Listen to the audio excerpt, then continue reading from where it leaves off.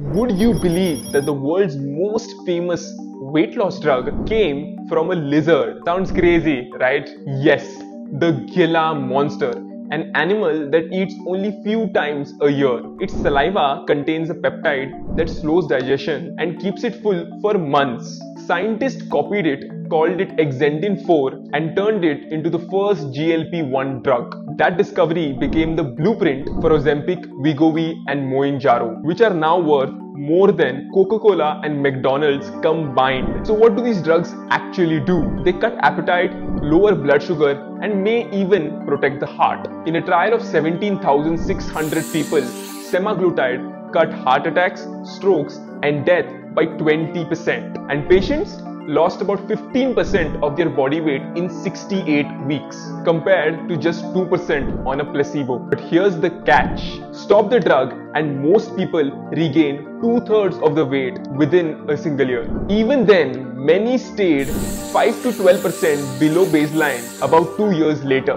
Some heart and cholesterol benefits lasted but weaker than on treatment. A rare but a serious side effect, sudden vision loss the European Medicines Agency warns about 1 in 10,000 patients may develop optic nerve damage. If vision changes hit, you stop immediately. And the latest headline, the FDA just approved Wegovy for treating a serious liver condition called MASH, a growing liver condition that affects about 15 million US adults and can lead to cirrhosis, cancer or even transplants.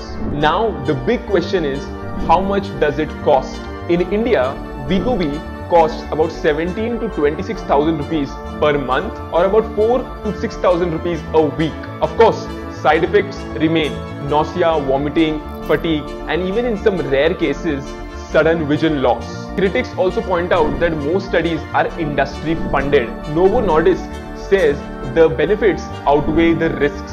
So, is Ozempic safe?